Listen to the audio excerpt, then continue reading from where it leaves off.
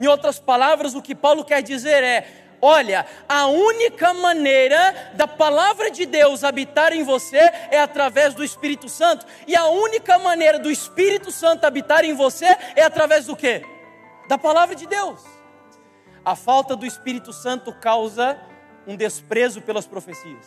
Segundo, a falta do Espírito Santo vai fazer com que as pessoas desprezem a autoridade da Bíblia como palavra de Deus. Terceiro, a falta do Espírito Santo fará com que falte poder para você obedecer a Deus. Você vai ter prazer nas obras da carne e não naquilo que agrada o Senhor. Mas em quarto lugar, para a gente finalizar, a falta do Espírito Santo impossibilita uma vida de santidade.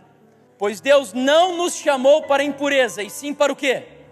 Santificação. Sabe o que, que eu li? Não faz muito tempo. Eu li o seguinte: Todas as vezes que o diabo levanta uma heresia, Deus levanta santos no meio da igreja.